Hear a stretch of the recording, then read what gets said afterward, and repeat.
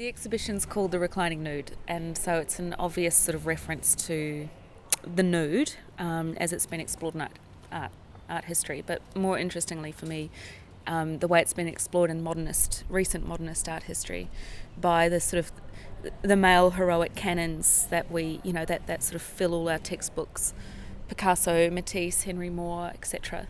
And um, I really love their work, but I'm also obviously very critical of it.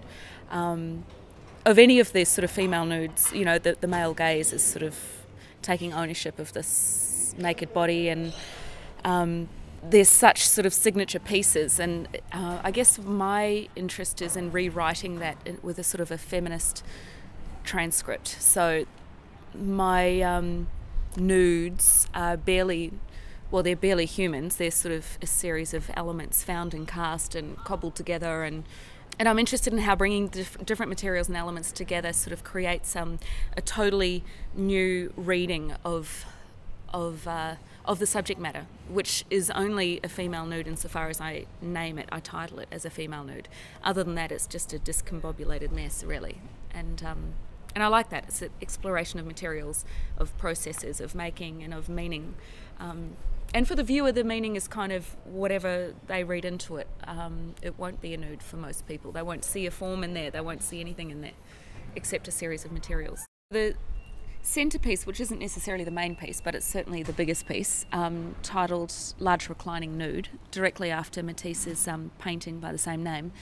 Um, it sort of operates um, as a well, I'm I'm sort of titling it obviously as a nude, but it looks and functions like a table, and I like this sort of the surface is tiled like a tabletop is, and um, and it has legs. It, it, pretty much I like the idea of it actually sitting in someone's home and them sitting at it and you know putting their coffee cups on the nude on the table, and you know she has the, these this ceramic pot pair of her breasts, and there are these bronze sort of uh, I guess. Um, um, genitalia that are kind of like phallic rather than womanly. It's it's very much a, a coming together of, of um, archetypal motifs and contemporary materials and utilitarianism. You know, it's very functional.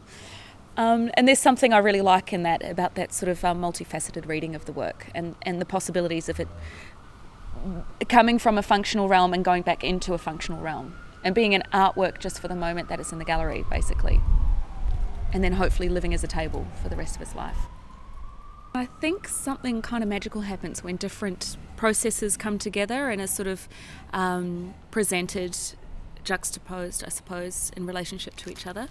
Uh, there's a I guess I like bringing together really traditional materials like bronze. I do a lot of hand casting in bronze, and um, I work with ceramic. Very DIY. I'm very lo-fi in this stuff. You know, and that's part of the non-mastery of that is really essential to me. That's what keeps me really interested in it particularly maybe because I am a perfectionist. So I don't once I control it I kill it. And I want to keep it just out of my own reach. It mm, makes it it gives it some sort of integrity to me. So I like bringing together these traditional materials with sort of really contemporary synthetic materials as well. Soft Kiss is a pretty sort of seminal piece in this body of work for me because um, it sort of comes. I found the original piece, which I then went on to cast at a secondhand junk shop, and it reminded me a lot of uh, a Brancusi headpiece. And um, I love Brancusi sculptures, and I was so sure it was an actual um, remake of a Brancusi. And I guess the fact that I couldn't be certain, it was so it so closely resembled it that it, it was close enough that it actually. Um, was Brancusi-esque enough for me. And I like that somehow we embody all these, or, or, we absorb all of these monumental and seminal artworks through our lifetimes, you know, of looking at artwork, of reading about it, high school, art history, art school, everything. We, we almost absorb these, um, these works unconsciously into our psyche. You know, there's such big players in the gallery in the back of our minds, you know, or my mind anyway, that they, the details of the works don't even matter anymore. They sort of become approximations of the original. That's what I'm left with, that residual sort of after effect of this lifetime of looking at images. And I like drawing on these sort of like the vibe of the original. And, you know, and that's enough of a link for me to feel like I'm close to greatness, you know. And with this, when I found this Brancusi esque work, I thought, I love it. I love that I can't be sure that it's the real thing or not. And it's that not knowing, it's that derivative relationship to the original, that sort of severing and, and sort of sliding away from the original that I like. The original is lost. Obviously, the original's in a museum somewhere, but I mean, it, the, the tie, the link to the original, has been deferred so many times, and I'm deferring it again by recasting a fake Brancusi esque version of something that was fake to begin with, that lent to the original somewhere along the line.